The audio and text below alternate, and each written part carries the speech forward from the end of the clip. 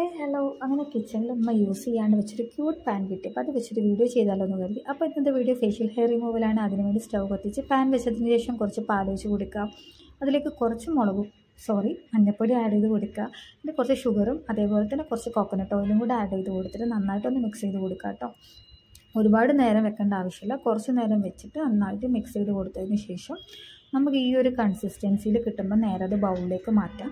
ബൗളിൽ വെച്ച് മാറ്റിയതിന് ശേഷം അതിന് കുറച്ച് ചൂട് തണഞ്ഞാൽ അതിലേക്ക് ഒരു ടീസ്പൂൺ കടലപ്പൊടിയും അതേപോലെ തന്നെ ഒരു ടീസ്പൂൺ അരിപ്പൊടിയും കൂടെ ആഡ് ചെയ്തിട്ട് നന്നായിട്ടൊന്ന് മിക്സ് ചെയ്ത് കൊടുക്കണം കേട്ടോ.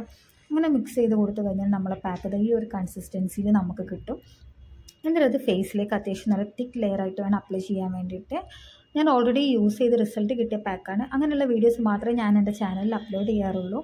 അപ്പം ഇത് യൂസ് ചെയ്ത് കഴിഞ്ഞതിന് ശേഷം ഫേസ് വാഷ് ചെയ്ത് കഴിഞ്ഞാൽ അത്യാവശ്യം നല്ലൊരു ഗ്ലോ നമ്മുടെ സ്കിന്നിന് കിട്ടി.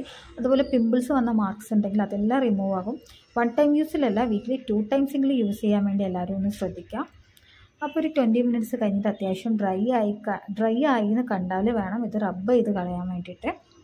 എന്നിട്ട് റബ്ബ് ചെയ്ത് കളഞ്ഞിട്ട് നന്നായിട്ടൊന്ന് ഫേസ് വാഷ് ചെയ്യുക. വാഷ് ചെയ്ത് കഴിഞ്ഞതിന് ശേഷം മസ്റ്റായിട്ടൊരു മോയ്സ്ചറൈസർ അപ്ലൈ ചെയ്യുക.